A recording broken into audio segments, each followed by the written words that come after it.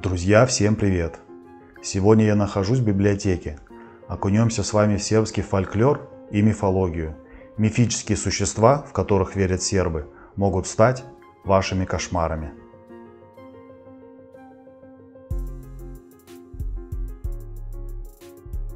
Это не я, это мой друг Пашка.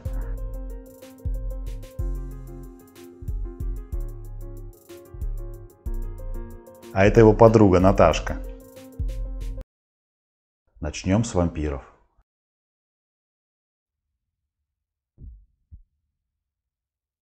Кто такие вампиры, объяснять не буду.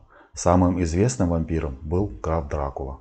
Но мало кто знает, что само слово «вампир» сербского происхождения. И первым сербским вампиром был Петр Благоевич. Это сербский крестьянин, который, как считалось, стал вампиром после своей смерти и убил 9 своих односельчан.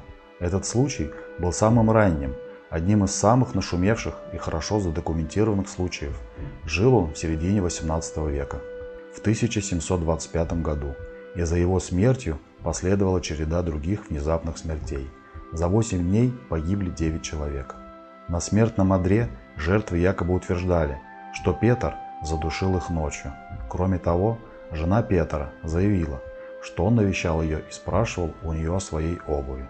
Как-то Петр вернулся в свой дом и потребовал еды от своего сына. И когда сын отказался, Петр жестоко убил его, вероятно кусая и выпивая его кровь. Жители деревни решили выкопать тело и осмотреть его на наличие признаков вампиризма, таких как отрастающие волосы, борода и ногти, а также отсутствие разложения.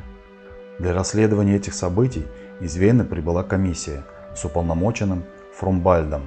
Тело было выкопано и обнаружилось, что волоса и борода отросли, появилась новая кожа и ногти, а старые отслоились. Во рту виднелась кровь. После этого люди вбили осиновый кол в сердце, в результате чего через уши и рот трупа вытекло большое количество совершенно свежей крови. Наконец, тело сожгли. После этого ночные визиты вампира прекратились. Но это не единственный случай в Сербии. Был еще мельник Сава Саванович, и жил он в селе Зарожье, на старой водяной мельнице, до реке Рогачица. В деревне говорили, что он убивал и пил кровь мельников, когда они приходили молоть зерно. Баба Рога. В сербском фольклоре описывается как устрашающее женское существо в образе сутулой, уродливой, беззубой старухи – с чудовищным лицом, с рогом или рогообразной шишкой, жировиком на голове. Отсюда она и получила свое прозвище. Баба-рога предпочитает скрываться в темных местах и выходит только ночью.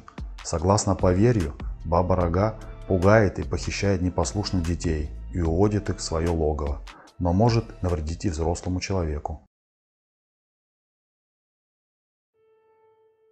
Мора это мифическое существо из славянской мифологии, которое ночью сидит у вас на груди, не давая вам дышать. Моры могут быть как дочерьми ведьм, так и девушками, состоящими в отношении с дьяволом. Хотя моры и ужасны, они не очень опасны, по крайней мере, пока не выйдут замуж. Сменив статус, они становятся ведьмами, а до тех пор могут только мешать дышать во сне и вызывать кошмары. Если вы когда-нибудь испытывали сонный паралич, то скорее всего к вам приходила мора.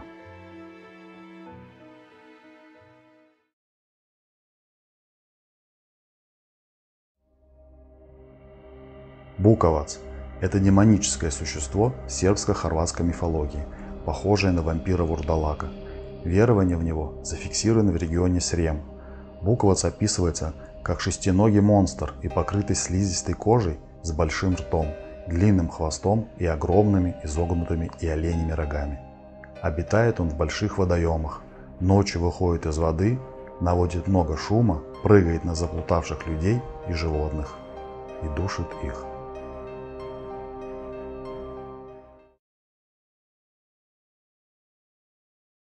Дрековац является мифическим существом в южнославянской мифологии. В Восточной Сербии его изображали в виде гуманоидного собачьего существа, передвигающегося на задних лапах.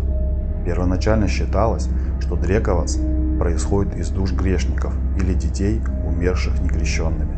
В народе считалось, что его можно увидеть только ночью, особенно в течение 12 дней Рождества. Друзья, поделитесь в комментариях о монстрах, которыми вас пугали и которых вы боитесь до сих пор. Ставьте лайки. Всем пока!